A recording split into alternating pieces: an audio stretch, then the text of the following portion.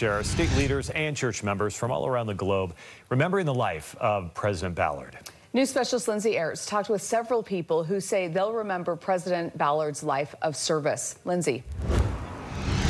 Yeah, that message, Debbie, from state leaders as well. Service uh, top of mind for many of the local officials uh, who praised President Ballard. Now, we also spoke with one group of women who got some advice from the late apostle that they won't soon forget.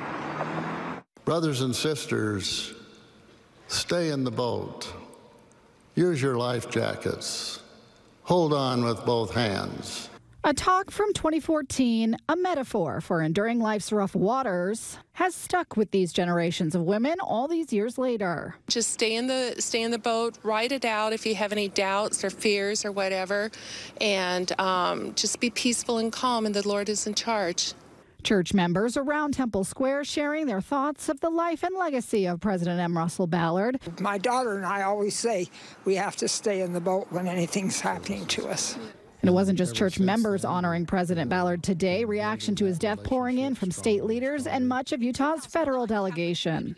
Governor Spencer Cox writing on X, formerly Twitter, quote, Abby and I are deeply saddened at the passing of our dear friend. He spent a lifetime of service trying to make the world a better place for everyone.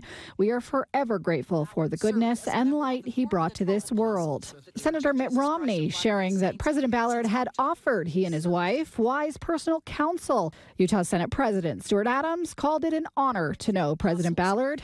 We'll miss that spirit, that kind spirit, that that uh, spirit of, of of helping other people, and and the spirit of trying to bring people together.